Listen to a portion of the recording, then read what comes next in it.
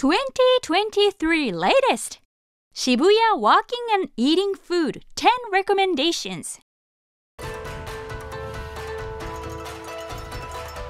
Samurai Junjiro Channel. Hi, I'm Akanemaru, born and raised in Japan.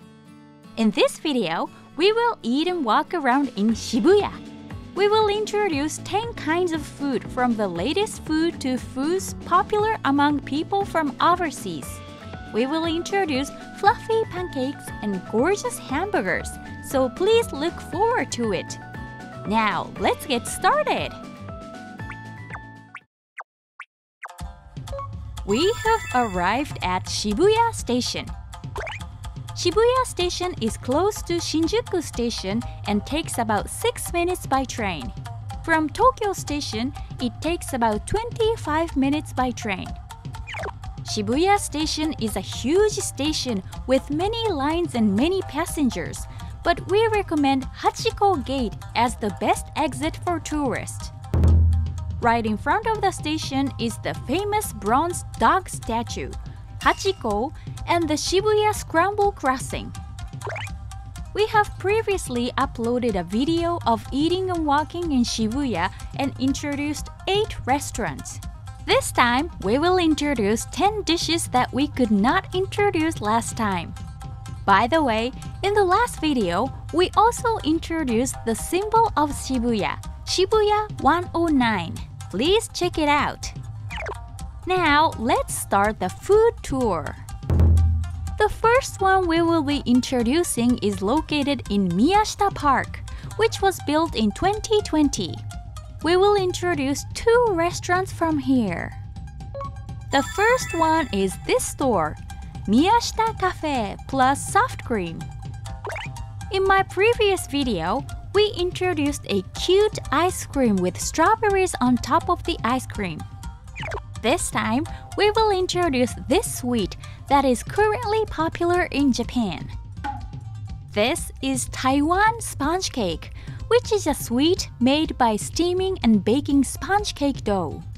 It is fluffier than Japanese sponge cake. It is sweet, moist, and has a melting texture. The size is small, so it is perfect for eating while walking around. We will introduce fluffy pancakes later, so please look forward to it. The next store we will introduce is located in the food court. The food court has six stores and is crowded with many customers every day.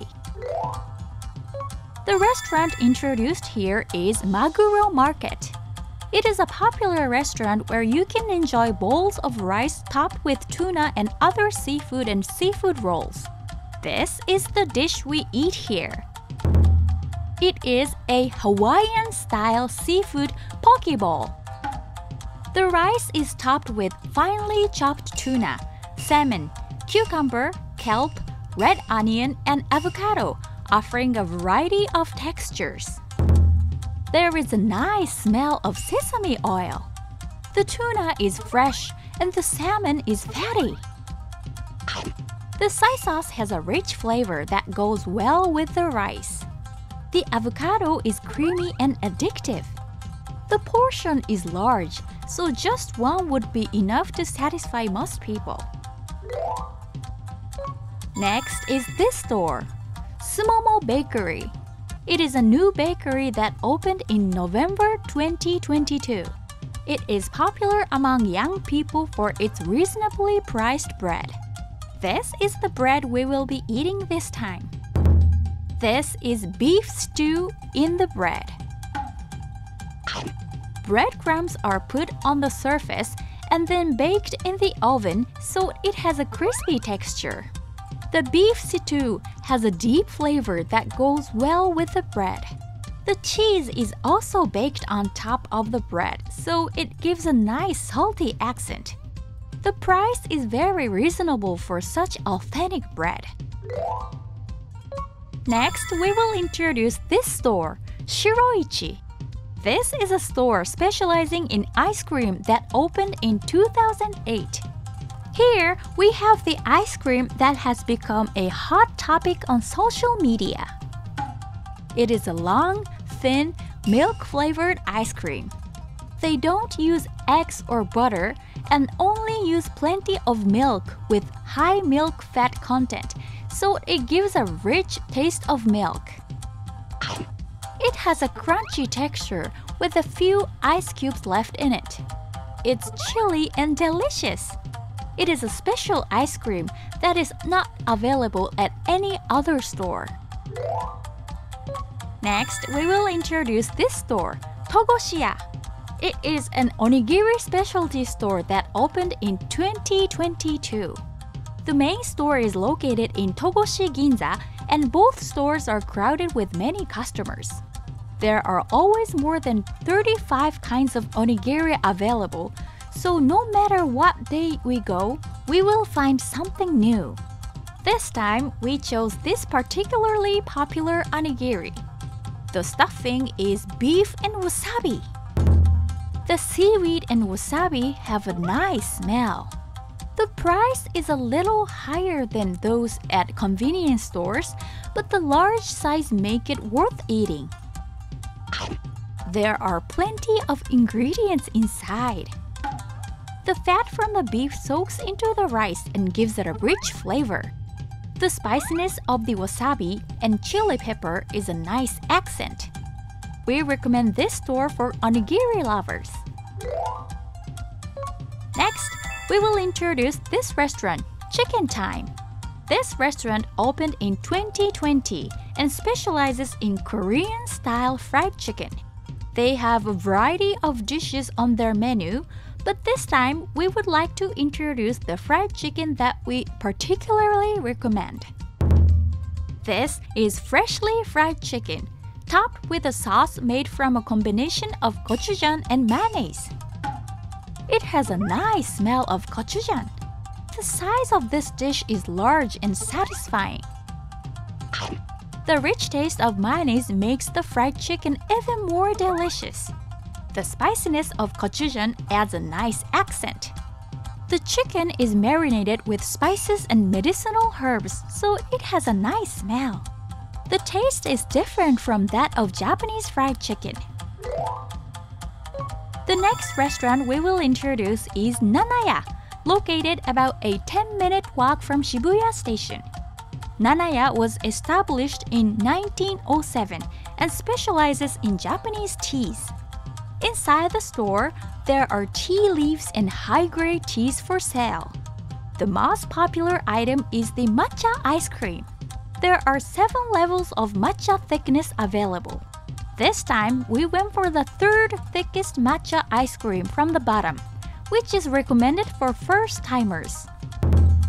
This ice cream is made with matcha from Fujieda City in Shizuoka Prefecture, which is famous for its tea leaves. It has a refreshing flavor of matcha green tea. One bite and the flavor of matcha fills the mouth. It has a slight bitterness and is not too sweet, making it a mature taste. Matcha lovers should definitely try the ice cream with the most intense matcha flavor. Next, we will introduce this restaurant, Creo-ru. This restaurant specializes in takoyaki, and its main branch is located in Osaka, the home of takoyaki. It is very popular because the authentic taste of Osaka can be enjoyed in Tokyo. There are a variety of takoyaki available, but the one we will be eating this time is the most standard takoyaki. It is a simple takoyaki with sauce and mayonnaise. It has a nice smell of dried bonito flakes. The outside is crispy, but the inside is soft and melting. The sauce is thick and fruity. The octopus is larger than at other restaurants and has a nice plump texture. It's nice to be able to enjoy the authentic taste in Tokyo. Next, we will introduce this store, Flippers. Since opening in 2018, this pancake specialty store has had a long line of customers every day. The wait for in store food and drink could be more than an hour. However, this store also offers to-go as well. The wait time for to-go is about 5 to 10 minutes. The pancakes are just as fluffy as inside served. Top with a dollop of whipped cream before eating. The sweet smell of eggs and milk makes it even more appetizing. The fluffy pancakes melt in the mouth. It goes perfectly with the sweet whipped cream. The pancakes are thick and look like a large portion, but the texture is light, so one person can easily eat them. It's nice to be able to eat pancakes from a restaurant with a long line at a reasonable price. Next, we will introduce this store, Shogun Burger. It is a popular store where they serve gorgeous hamburgers made from 100% Wagyu beef. This time, we especially recommend this hamburger. We also introduced this restaurant in the Yokohama Red Brick Warehouse in our previous video on Yokohama. We had a cheeseburger at that time, but this time we are going to have a more luxurious avocado cheeseburger with avocado on top. The avocado is topped with a generous amount of tartar sauce. The beef and cheese smell great. The burger is thick and satisfying. The juices from the meat fill the mouth after one bite. The avocado and tartar sauce are creamy and rich. The melted cheese is absolutely delicious. If you come to Shibuya, you should definitely try this burger. If there's any restaurant you'd like us to introduce, let us know in the comments. Please give us a thumbs up and subscribe to our channel. Well, that's all for today. See you in the next video. Bye bye!